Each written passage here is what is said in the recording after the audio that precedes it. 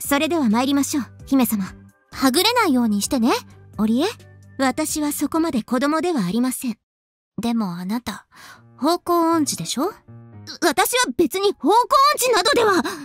じゃあまずこのお店に行ってみたいんだけどどこにあるかわかる？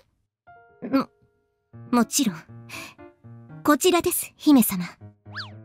そっちは逆よ。姫様。うーん。シンプルな服がいいかな。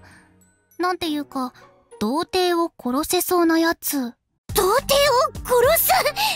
ダメだそんな服。そんなことは僕だって知ってる。そうじゃなくて。お尻のあたりまで背中が大きく開いていて首元で紐を結んだだけのネットにイラストとか溢れてたね。そういえばそれを取り入れた同人誌とかもあったね。ダメだぞ！ダメダメ！あんなエッチな服。アレンジすぎるぞバカ！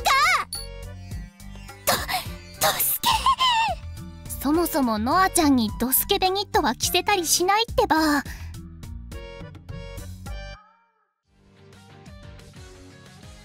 了解！私も感度3000倍にしておかないとね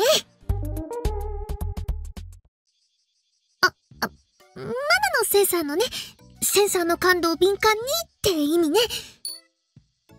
すぐそういう想像するりっくんが悪いんじゃん。反論できん。でも、無意識にあれなこと言っちゃうの、やめた方がいいよね。をつけよう。